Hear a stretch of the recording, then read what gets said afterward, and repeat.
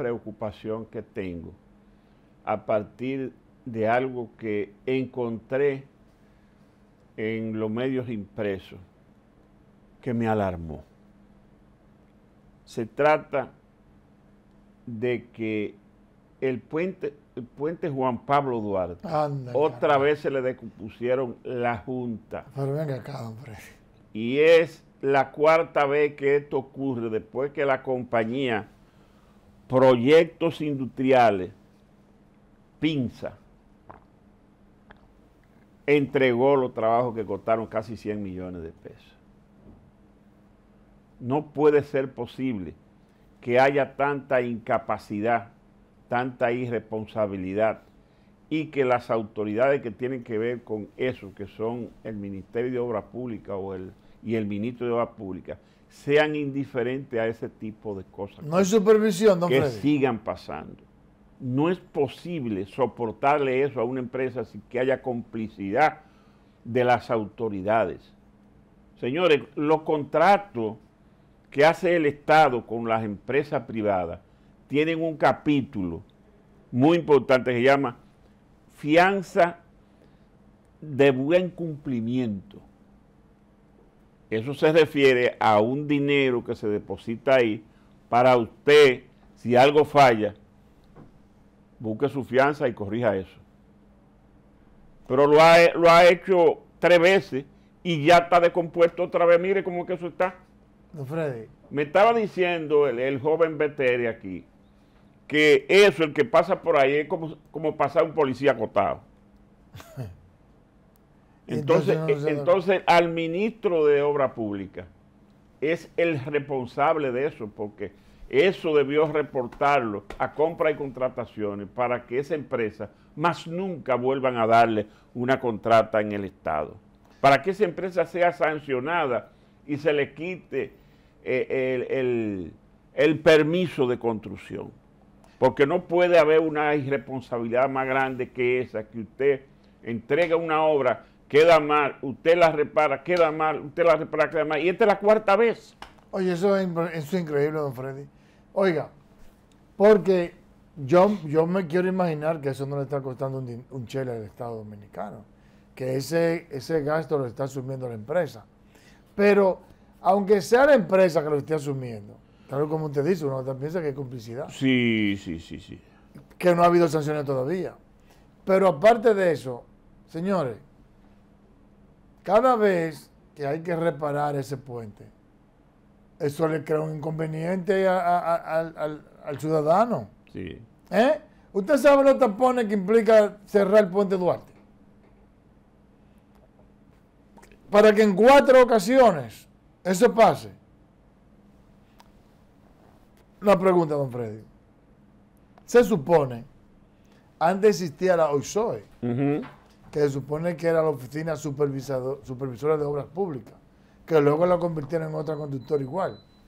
Pero, ya que la OISOE desapareció, se supone que Obras Públicas tiene que tener un departamento de supervisión, un departamento de ubicación, para verificar que cada una de las obras que se realizan para el Estado Dominicano se están ejecutando con todos los requerimientos técnico, profesional y científico que se necesita para que esa obra salga bien. Entonces yo tengo que pensar necesariamente que obra pública no supervisa esa obra.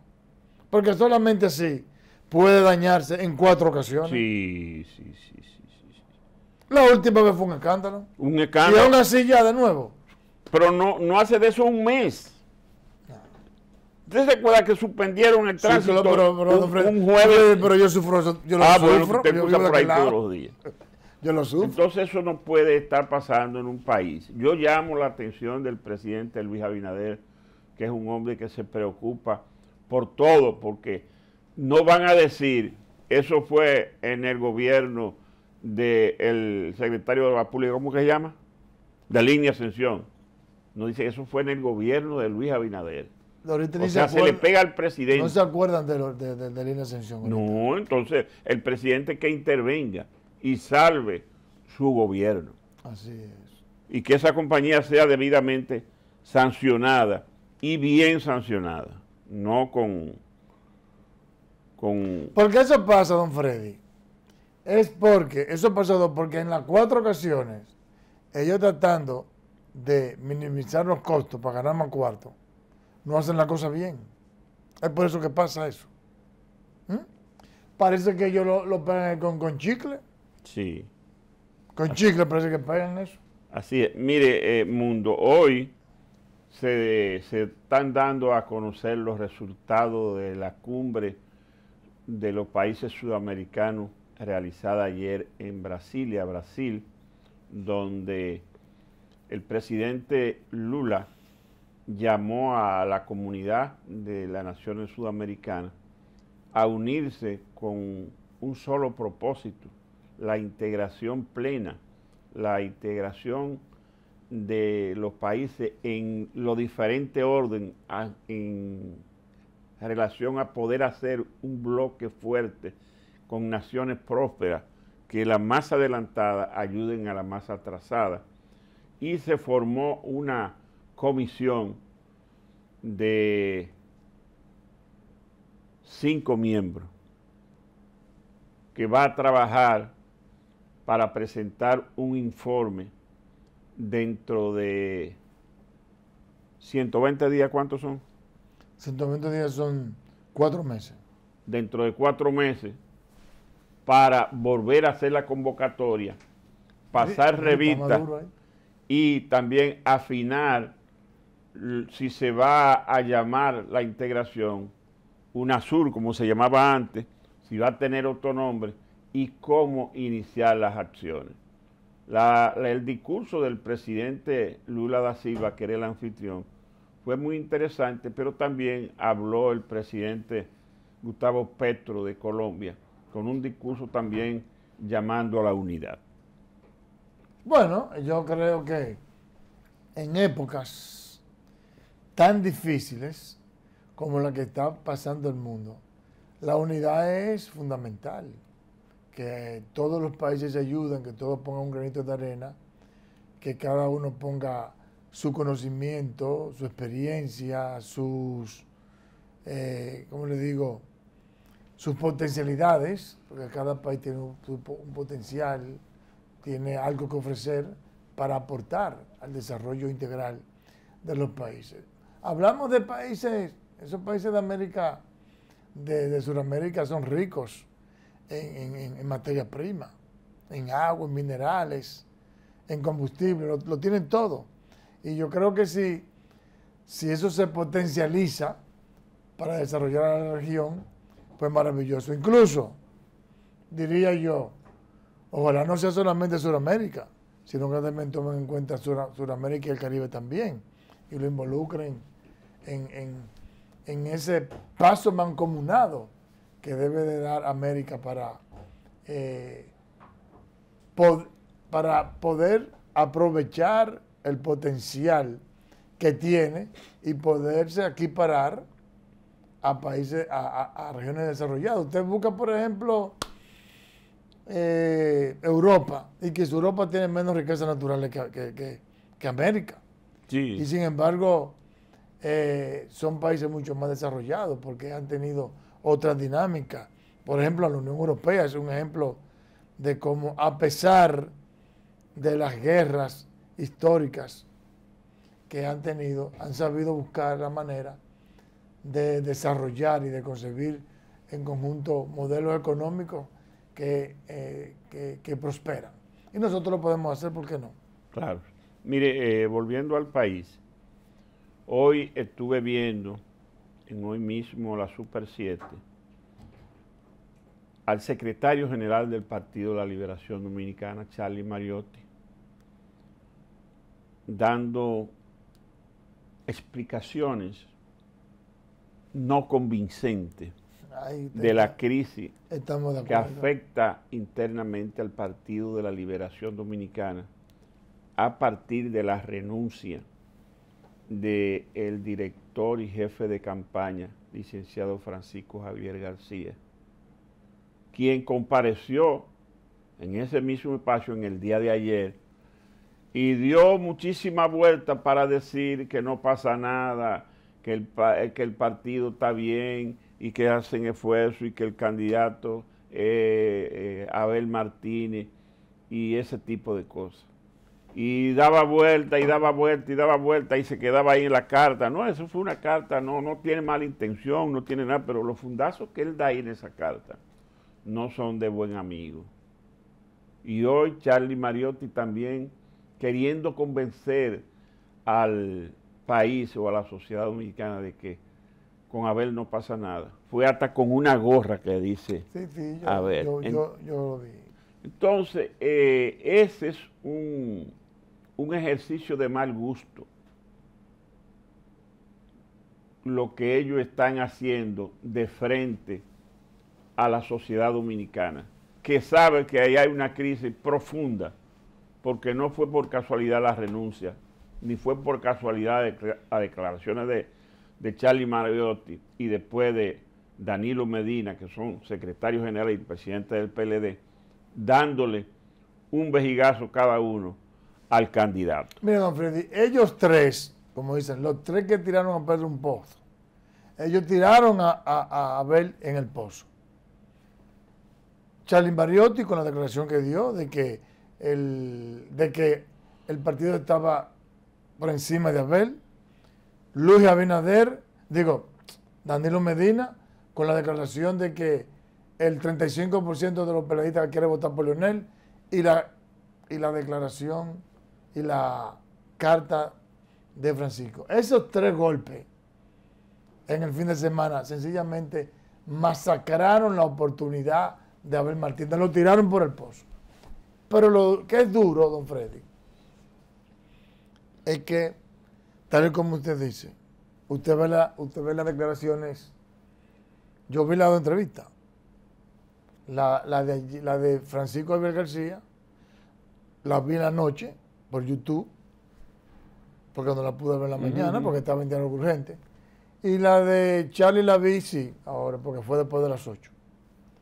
Y lo primero es que hay incoherencia entre lo que dice Francisco Alberto García y lo que dice Charlie Mariotti. Se contradicen.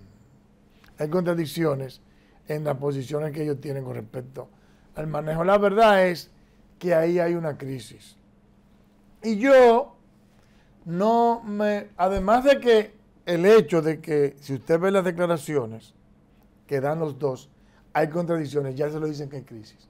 Porque el primer aspecto fundamental, estratégico, coherente y que le daba éxito al PLD era la coherencia en el discurso.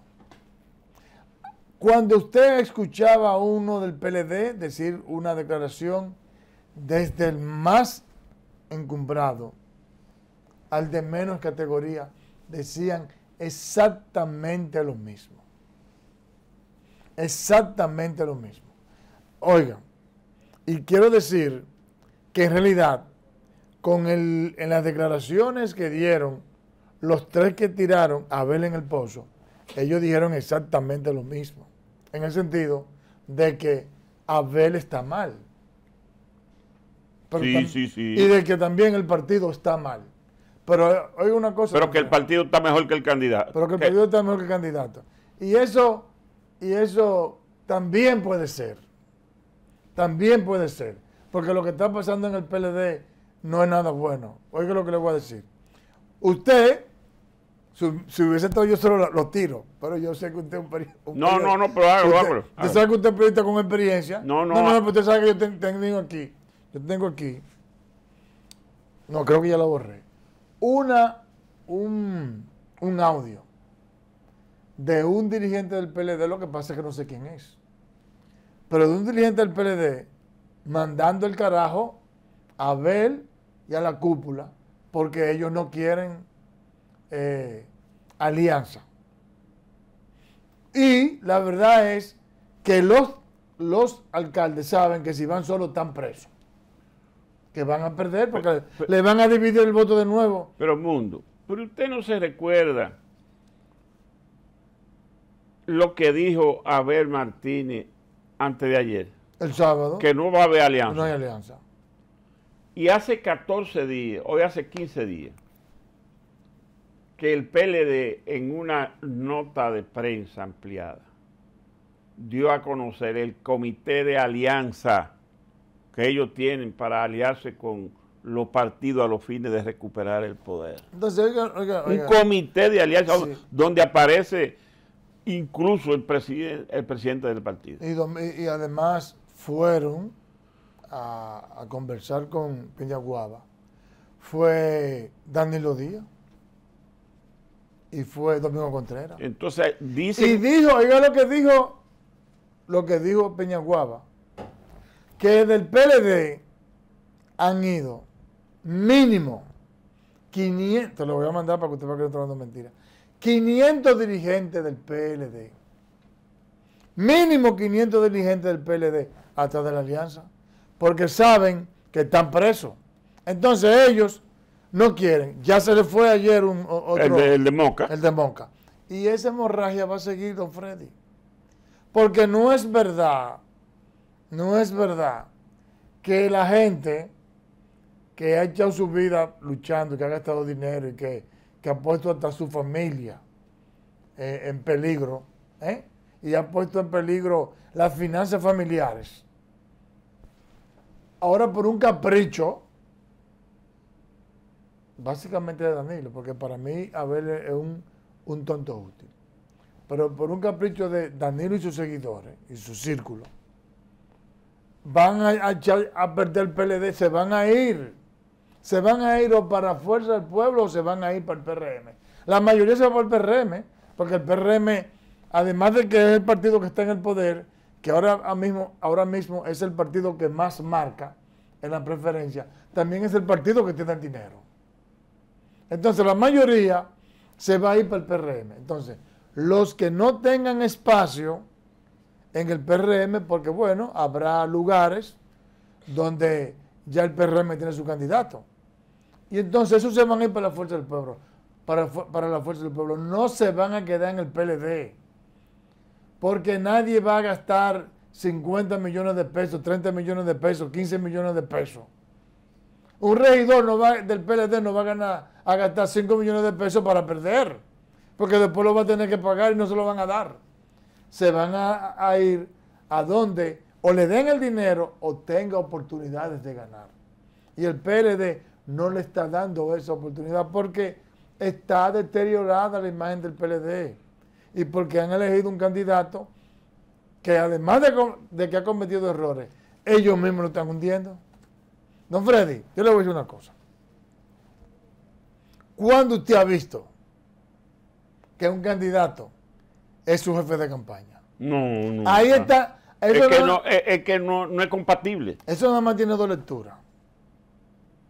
O ciertamente, como dijo Francisco Abel García, Abel Martínez es un narcisista, un prepotente, un intolerante, que no cree nadie y que cree que él es el único que sabe. O que ninguno de los PLDistas se quieren echar esa vaina, porque saben que están presos. Esa es la única lectura que tiene eso. Así es.